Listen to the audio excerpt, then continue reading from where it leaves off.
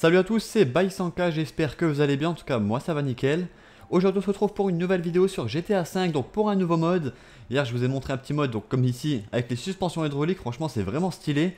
Et aujourd'hui je vais vous présenter le mode KO, donc vraiment un, mode carnage, un mode Mayhem, comment qu'ils l'ont appelé, pour pouvoir tout détruire autour de nous. Donc c'est parti, une fois installé, donc je vous ai mis le lien de téléchargement dans la description.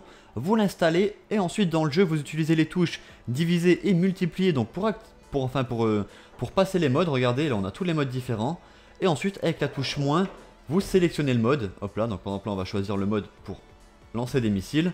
Et ensuite, avec la touche X, regardez, vous tirez des missiles avec votre véhicule. Et au premier impact, tout explose. Donc franchement, je trouve que c'est vraiment stylé.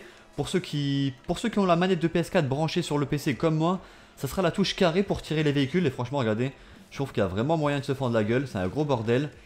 Regardez ça. Après, moi je prends la duck vu qu'elle est bladée, sinon je me suis déjà explosé la gueule plusieurs fois. Donc faites vraiment gaffe, je vous conseille aussi, donc si vous avez le trainer, de mettre votre véhicule en invincible, histoire de bah, ne pas mourir. Et ensuite donc on a le vrai mode KO, et c'est celui-ci, regardez, dès que je vais l'activer, tous les véhicules autour, dès que vous allez vous en approcher, vont exploser. Et je trouve que franchement c'est bon, après l'écran vibre pas mal. Et je vous conseille aussi de ne pas sortir de votre véhicule, sinon votre véhicule va exploser et c'est la mort assurée. Donc soit les véhicules explosent, soit ils, volent bizarrement en l'air, ils vont de gauche à droite. Mettez en plus donc les véhicules que vous tirez vous-même et franchement il y a vraiment moyen de faire un gros chaos.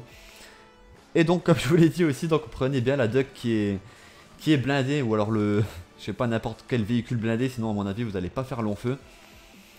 Et voilà donc pour ce petit mode funny, j'espère vraiment que la vidéo vous aura plu. N'hésitez pas à lâcher un petit pouce bleu si c'est le cas et à vous abonner si c'est pas déjà fait. Moi je vais vous laisser sur ces images, je vous dis à tous bon game et ciao tout le monde